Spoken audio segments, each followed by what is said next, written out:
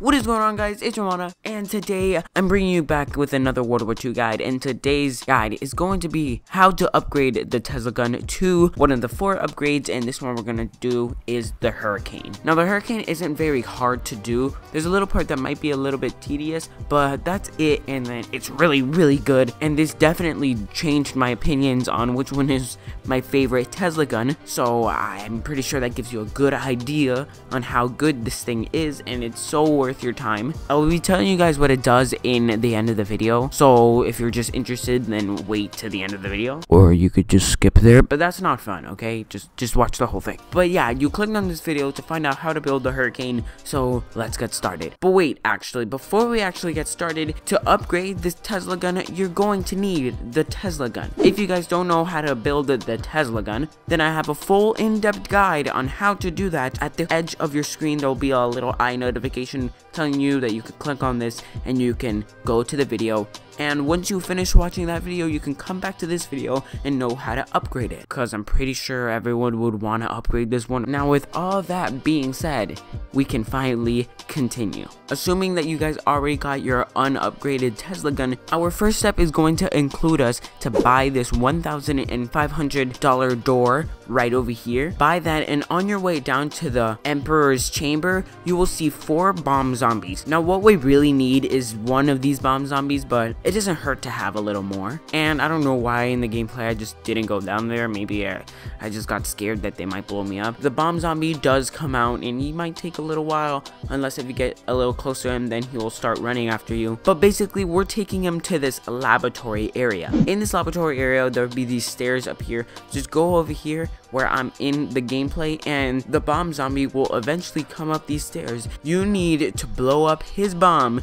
in this area. Once you do blow up his bomb, there'll be this hollow metal that will plop out with a battery. Now, basically that's it. That's how you get the battery for the Hurricane, so might as well just go down there, press square, pick it up. But let me just say, this is heavy, but not as heavy when it's fully charged up and you pick that thing up. That will slow you down. So once you picked it up, head over to this trap like we saw in the trailer, and there'll be this little battery holder right here, and place this battery in the battery holder. Now this is the little tedious part which honestly isn't even that bad but I'm pretty sure most of you guys already seen it before but we all know those type of zombies that are really slow and they have this metal club with spikes on it. People call them whistling zombies. They call them big birther they call them all types of names but whatever you guys call them you're going to need to kill these big birther guys in this trap where we previously placed the battery in. So it might be good to like hold them off for like three rounds until you get like three big birthers or whatever you call them. So that's what I did. So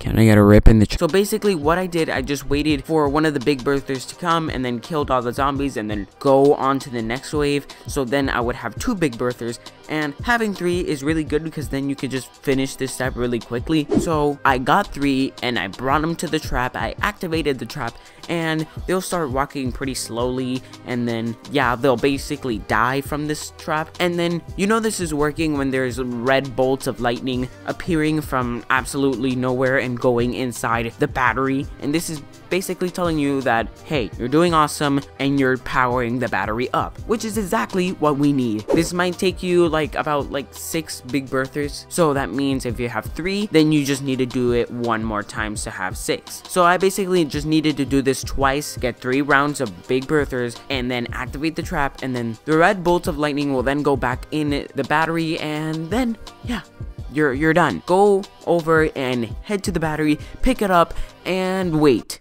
I would like to warn you before we continue on that you have to have done the lightning rod step in the casual quest easter egg. Now I have a full guide on that in my channel. If you guys are watching this as soon as it comes out then it's not out yet but people that are in the future I have a full in-depth guide on how to get to the lightning rod step so you can get this done and also farther so you guys can do the actual easter egg. If you guys are interested there'll be a little eye notification at the edge of your screen so yeah you have to have completed the lightning rod step and basically what this step is that you need to defend from zombies and it's a bit of load of zombies and so you just gotta defend them from this tower that's going up and it has a health bar so yeah you gotta defend it before the health bar goes down. So yeah, you have to complete this step before going to the next one. Alright, so we're all caught up. Have you already done the lightning rod step? I'm going to assume you have. Pick up your battery that's in this trap. It's gonna be very heavy now. It's gonna be heavier than the last time we picked it up. But if there's any zombie, feel free to press triangle and drop it and then deal with the zombie. And place the battery inside the central control pad that that's just what I call it. Now basically what this is telling you is that get everything you need before you're gonna have to defend this. So again, is another defending thing. So make sure you guys have jack in the boxes. Your wonder weapon is also good. The Tesla gun is good. The bacon and eggs, which is the 1911 spawn pistol is really good for this step because it's literally two bomb guns that don't hurt you at all. That's exactly what I'm going for. So having all these stuff, or, or if you even have another already upgraded Tesla gun, this is really helpful for the step. Anything that you can possibly do to keep these zombies away from this battery is absolutely necessary. But yeah, once you think you guys are ready, press square on this battery and it'll basically close itself in, it'll grow a health bar, and yeah, good luck, kill all the zombies, and once you have done that, congratulations, you basically finished it already. All you gotta do is just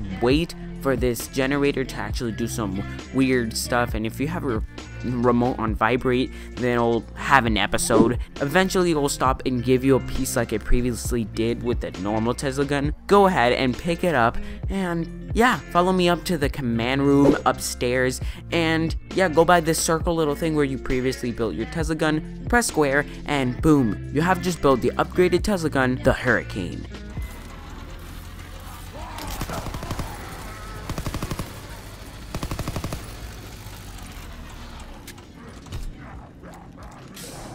If you guys found this guide useful in any sort of way, make sure you guys leave a like and subscribe because it lets me know you guys enjoy this type of content. For more World War II guides, if you guys are ever confused or anything like that, I have a whole playlist. Also, in-depth guides on how to do everything in the map. And the Easter egg one should be coming very soon. I already recorded the gameplay and stuff, so yeah. And for that, you might want to turn the bell notification on because you don't know when it's going to come out. So yeah, I will see you guys in your refrigerator.